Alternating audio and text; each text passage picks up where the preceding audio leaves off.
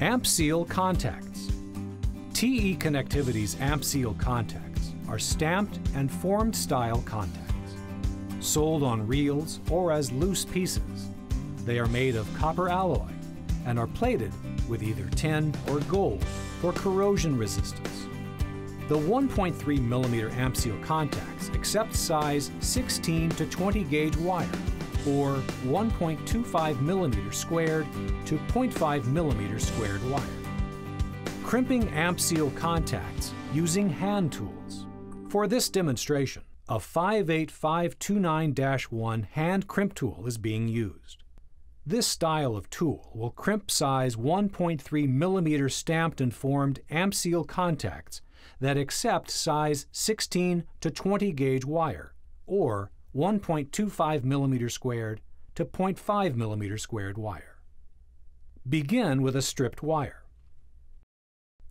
Cycle the crimp tool to the open position. Place the contact into the correct die nest. Partially close the tool until the contact is held in place. Insert the stripped wire into the contact. Squeeze the handles closed until the ratchet releases. The ratchet will only release when the tool is fully closed and the crimp is complete. Inspect the crimp by referring to the AmpSeal Contact Crimp Inspection section of this video segment. AmpSeal Contact Crimp Inspection For AmpSeal contacts, correct crimp assembly can be checked by measuring the height and width of the crimp. Consult drawings for full specifications. Unacceptable crimps on AmpSeal contacts would include wire strands not visible on both sides of the conductor crimp, wire strands that are missing, flayed, or curved outside the crimp.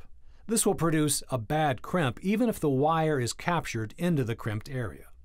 Damaged wire strands, including any wires that are cut or bent. Insulation wings that are not tightly wrapped around the wire insulation can create problems with contact insertion and removal.